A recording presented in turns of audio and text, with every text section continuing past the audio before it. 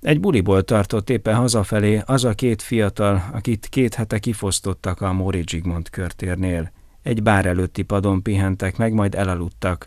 Ekkor egy tolvaj lépett oda hozzájuk, ő már korábban felfigyelt a két férfire. Néhány pillanattal később pedig már egyikük zsebében kutatott.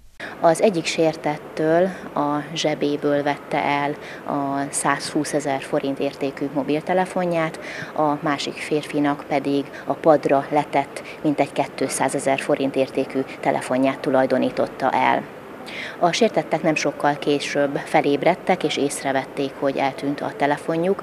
Ezután az egyikük a közelben tartózkodó szemtanúk segítségével és elmondása alapján a vádlott után ment, aki akkor már többekkel együtt egy közeli villamos megállóban tartózkodott. A férfi végül visszaszerezte a telefonját, a tolvait gyorsított eljárásban állították bíróság elé.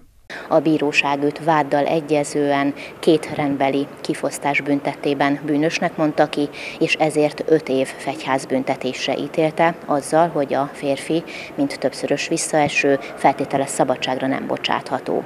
Az ítélet nem jogerős, ugyanis az ügyész súlyosításért fellebbezett. A férfi korábban többször is volt büntetve, többek között kifosztás és rablás miatt ítélték börtönbüntetésre. A mostani ügyben a másodfokú ítélet kiszabása során ezt is figyelembe veszi majd a bíróság. A fővárosban nagyon sok hasonló bűncselekmény történik. Ezeket a felvételeket a 4-es 6-os villamos kamerái rögzítették. A képen látható férfi több alvó embert is kizsebelt a járaton.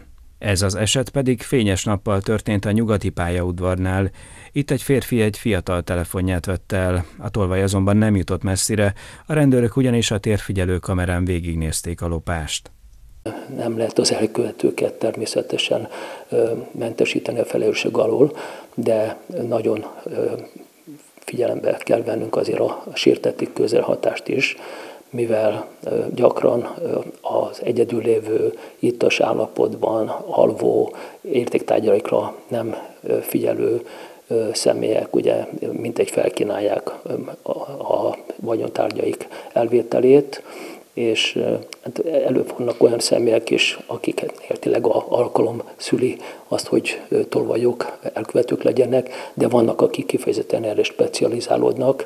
A szakemberek hangsúlyozzák, ha valaki hasonló esetet lát, akkor fontos, hogy azt azonnal jelezze a rendőrségnek. Hogyha közbeavatkoznak a, a kívülállók, sajnos előfordulnak olyan esetek, hogy ilyenkor erőszakossá válik a, az elkövető, a segítséget nyújtóra támad, úgyhogy a legcélra vezetőbb ilyenkor Természetesen, hogyha erőfölényben vannak, vagy többen vannak a közelben lévők, akkor, akkor nagyon jó, hogyha segítséget nyújtanak közvetlenül, de ugye most már általában mindenkinek van mobiltelefon, jó, hogyha fölhívják a segélyhívó számot. A statisztikák szerint a legtöbb kifosztás a nyári hónapokban, a pénteki és a szombati napokon történik.